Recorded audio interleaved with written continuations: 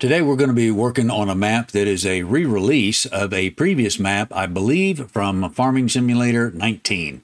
It is called Ravenport. It's been upgraded to Farming Simulator 22 standards, so now it's called Ravenport 22. We're going to take a look at the map and the starting farm here in just a minute.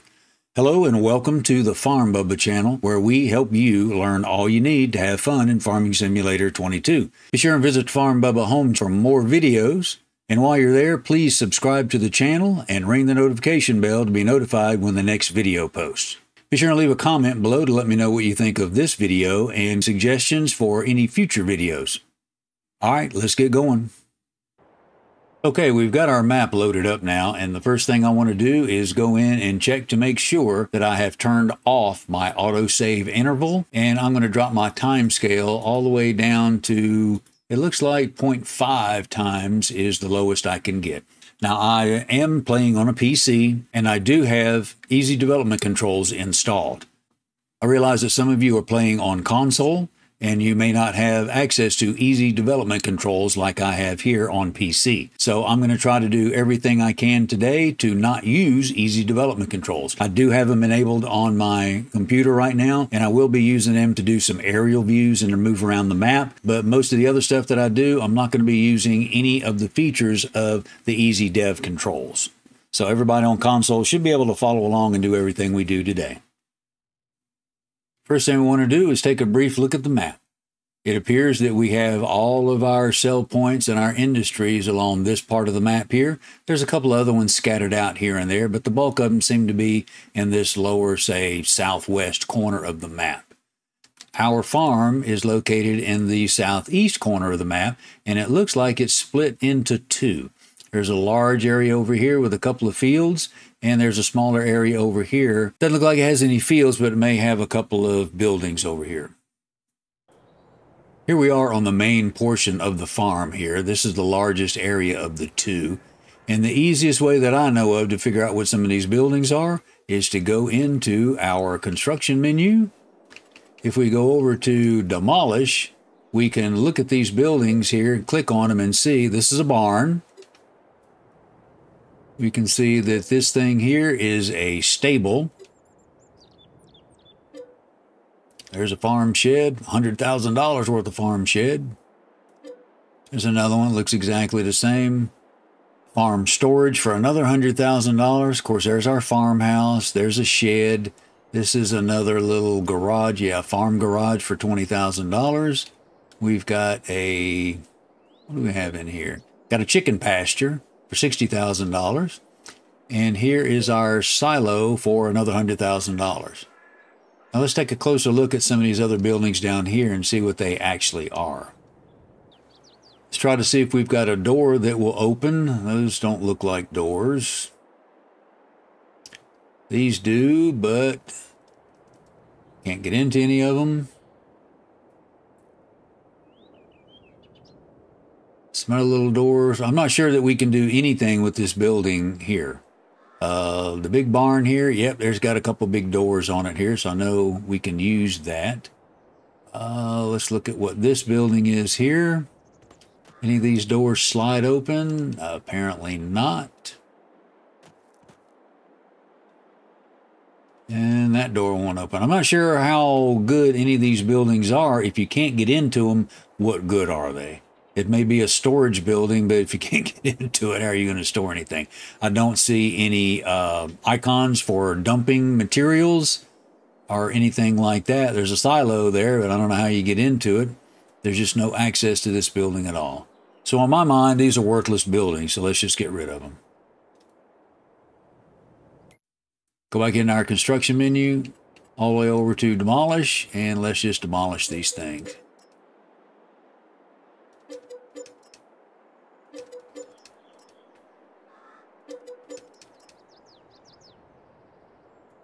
Uh, I guess we can hang on to that one.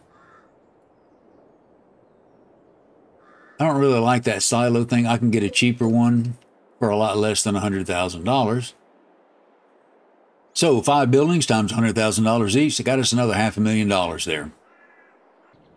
So let's venture over to this other smaller area and see what we've got over here. Looks like there's a couple of barns, a couple of big storage buildings there. So let's see what this is. That is a cow barn. This is a sheep barn. And this is something called a Verico, whatever that is. It's $150,000 worth.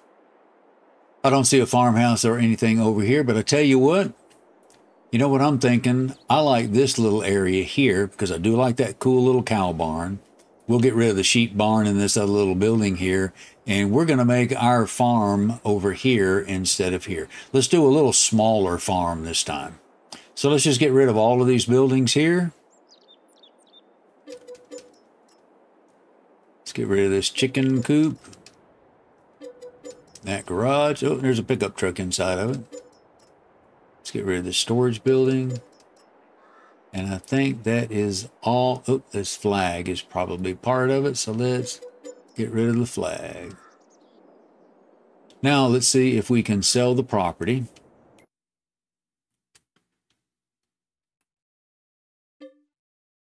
$105,000 and $181,000. Okay. Now we've got, ooh, $1.1 million. I think we can work with that. As far as equipment goes, um, and yeah, let's just get rid of everything.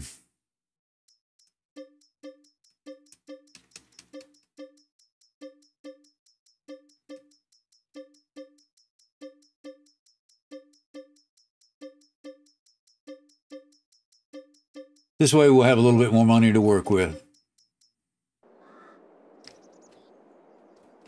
But come to think of it, I don't care for this building here. Let's get rid of that one. And we're not doing sheep today. Well, it looks like the only thing we're keeping is the cow barn, but we're going to add a lot more stuff and make a cool little farm here. Okay? So let's go ahead and get started. Let's put a house down here to start with. Go over here to buildings, farmhouses, and this house right here for $60,000. It doesn't have a lot of other clutter around it. And I just like the style of it. It's fairly inexpensive. We're going to park it right over here. We need a uh, manure pit. Go to silo extensions, manure pit. We're going to get rid of a couple of trees. So we're going to pop that thing right back in here. And let's get rid of a couple of trees. Now here is where Easy Dev Controls comes in. But if we don't have Easy Dev Controls, we do have another way to get rid of some trees. A couple different ways to get rid of a tree. Number one, chainsaw. If you've got a chainsaw, you can come in here and cut this tree down. But the only problem is now you got to get rid of the tree and the stump. You cut the tree up in little pieces and go sell it, but that's kind of a pain too. Second thing to do is use tree be gone. You can buy this thing at the shop and it will get rid of the tree and the stump all in one shot.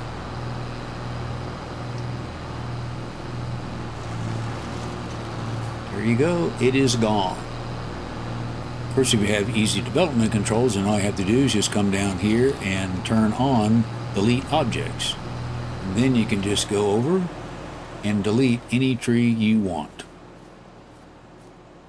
Just put that little center target right on the tree, hit your delete key, and it's gone.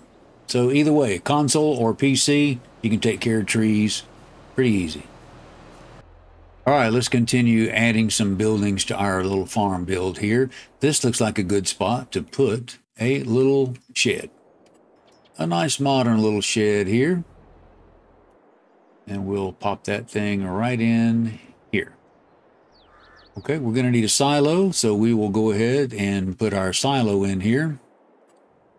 We don't need a really big silo, so we'll put this other little smaller one here and we will pop that thing in right about there. We're not going to have a garage with the workshop, so we'll just go ahead and put a portable workshop right over in here. And then we'll go ahead and put a pressure washer right over in here too. All right, what's next on our little farm here? Um, raise your hand if you like chickens. Let's put a chicken coop right over in here somewhere. Go on our construction menu under animals and chickens. And let's get something just a little bit different. Yeah, you know, my favorite one is this one here. I like that, but let's just do something a little bit different. We'll put this one in here. It's a little more basic. And raise your hand if you like horses. Let's put some horses in here. My favorite little horse pen goes right here. We're going to do a little bit different shed this time. We're going to put this one right here. Let's put this little shed right back in here. There we go. We'll plant a couple of trees back behind it.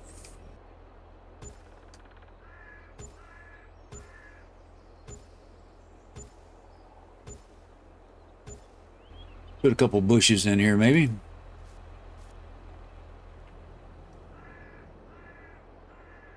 Just kind of protect them from the weather a little bit. There we go.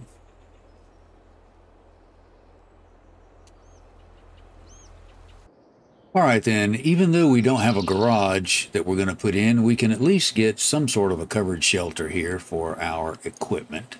Let's put this little building here. We can at least put a couple tractors into that. All right, now let's do a little bit of landscaping around here. I believe this is probably the dirt color. Yeah, this is the dirt color that we've got there. Let's put a little bit of dirt up inside here.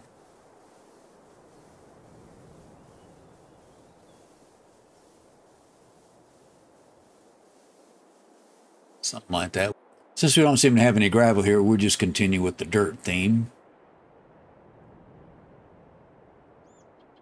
Let's go here and put a little bit of uh, dirt in this area here. Going out in through here. What I like to do over here is put a little bit of this animal mud in. Let's fill this in with some animal mud. Kind of get it out this way just a little bit. And then if we go in with just a touch of this forest floor, use your little round brush here so that you can just pop in some of this patchy stuff. You see, is that kind of, I don't know, is that kind of manure-ish looking or something? I don't know. I, I like doing that to it anyway. Let's go back to our dirt and get a little bit of dirt over in here where we service our chickens. A little bit of grass back in through here.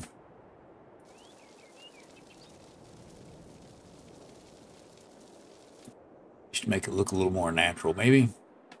Same thing over in this area, maybe. Like in our dirt over here.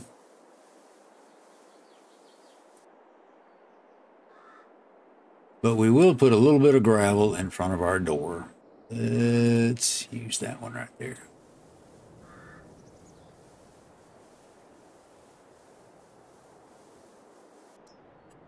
We always have to go back in and put a little bit of grass again next to everything here.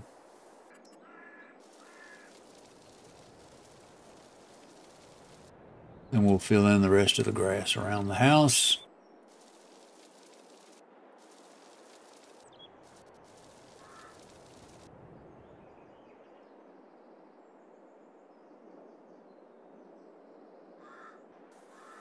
We'll put a little bit more grass around our silo here.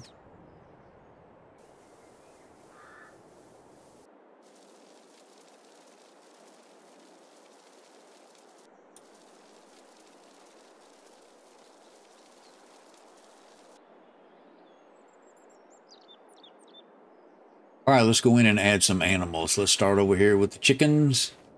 Let's get a few chickens going in here. Get a rooster. We'll get about 30 chickens. And let's get just a couple of chicks here.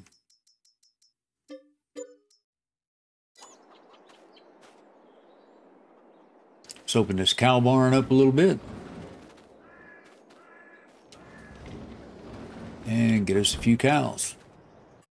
Get us a bull. Don't need but one of those. Get a few cows. And maybe a couple of little calves. What do you say?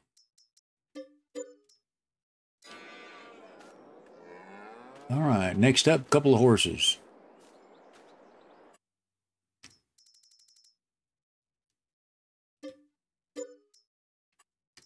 And we'll get him a mate.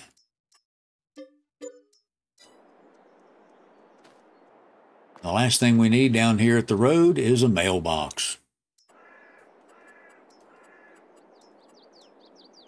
Nothing fancy. And there we go.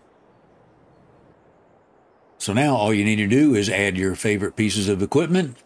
Maybe buy a field or two. This field down here would probably be a pretty good one.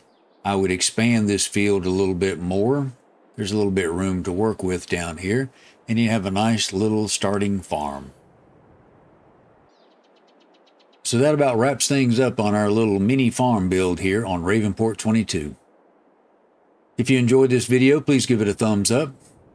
Be sure and visit the Farm Bubba channel homepage for lots more videos, and while you're there, please subscribe to the channel and ring the notification bell to be notified when the next video posts. Please leave a comment below to let me know what you thought of this little farm build and give me suggestions for any future videos that you'd like to see. As always, thanks for watching, and we'll see you next time.